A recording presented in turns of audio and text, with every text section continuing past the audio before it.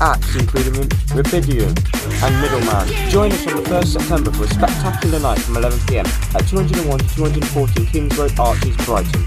See you there.